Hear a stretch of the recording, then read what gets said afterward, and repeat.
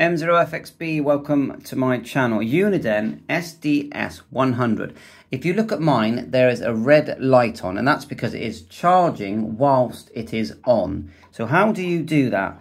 If I unplug the cable, now I'll show you the way the, the charging cable goes, and this is also the PC cable and serial port connection. So I plug it in and the red light comes on because it's charging whilst it's on. And if I turn it off, it will still charge. But let's just select the menu. So you hit the menu button, which is the red button at the bottom, press menu, and then turn the volume control to the left until you get to settings. Then push down on the volume control once. Then turn it to where it says battery options. I'm going to press down and you're going to see three selections. Choose the bottom one, which is called Set Charge While On.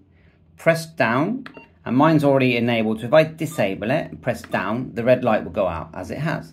If I press Set Charge again, and I click upwards once to enable charge while on. And this is a very useful feature because these batteries, you know, they don't last forever and you don't really want to be taking the battery out that often because you're worried about breaking the plastic clip underneath although you can buy a spare but I'd rather not.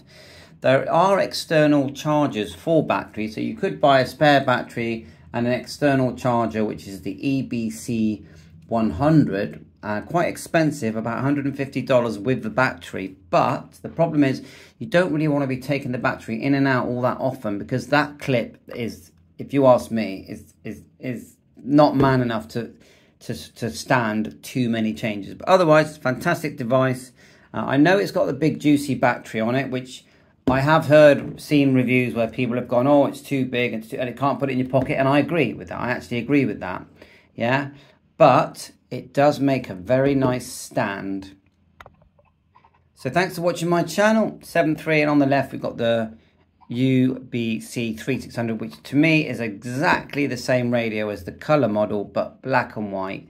Obviously, it's different hardware, but it's slimmer. You haven't got the, the big fat battery. And also you can use rechargeable AA batteries, and that's a big plus. So, and half the price. So I definitely think if you're thinking of budget, consider this because there are, there's the ARC536 and ProScan software that will allow you to have a color screen but on your PC. Bye for now. Please hit the like button and if you're really enjoying my scanner videos, uh, consider subscribing. All the best.